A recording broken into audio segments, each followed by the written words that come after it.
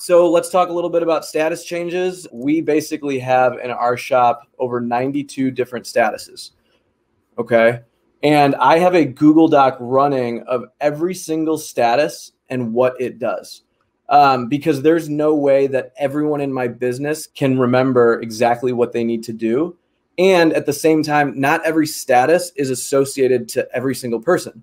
Right. And so um, you know, we have so many statuses, but we have so many statuses because there's a place and a position for everything. And sometimes we delete statuses, add statuses, we'll make some new ones, but we heavily rely on status change notifications. And just to kind of give everyone a background, status change notifications are simply four basic functions. It's either emailing the customer, emailing a person, texting a person, texting a customer. And those functions right there, whether you're texting the customer, the salesperson, or um, a specific person every time, that's how we use most of our um, most of our automation. I have 92 statuses. I am a for-profit business, so I won't necessarily just show you everything. You know, it's one of those things where the statuses that we have might not even relate to you.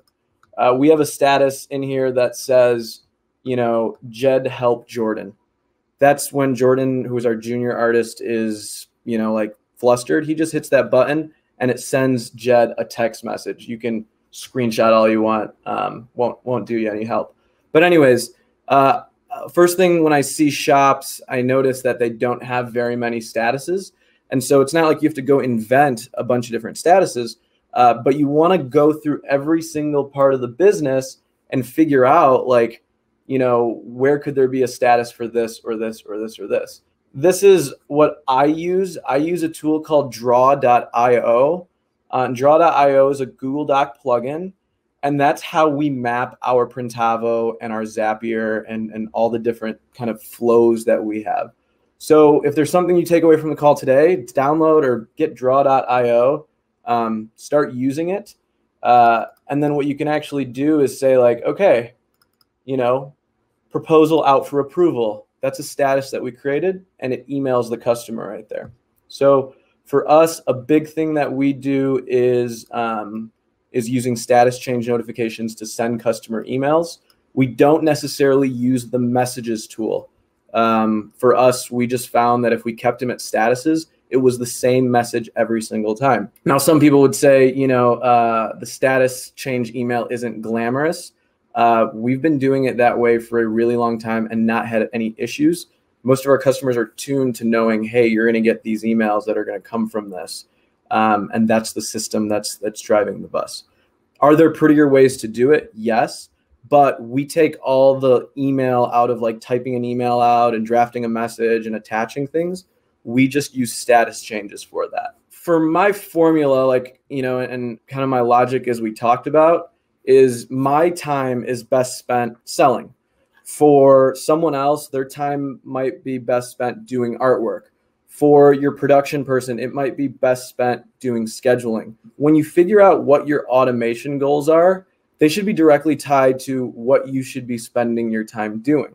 So when I have various things that I automate, that people are like, well, why do you automate that? It's one less thing that I have to worry about so that I can focus on sales or creative or whatever that is. I'll give you guys an example. Um, we have a square reader at our retail location, and occasionally um, they the students don't put the invoice number in the notes. So I basically created a zap that said, if you spend over 50 bucks on the square reader, you're placing an order for something. Um, go ahead and send me a Slack message just so I can keep a running tab in case one of those don't get marked as paid. So some of the zaps that you create might not be with Printavo, and actually it's it's pretty easy to just let apps do different things. So for Zapier to work really well for us, we heavily integrate it with Slack. And Slack is the messaging tool that we use for the entire company because Slack has a really, really great um, open API and connects to almost every application out there on the market. Um, so that's what we use for all of our different notifications.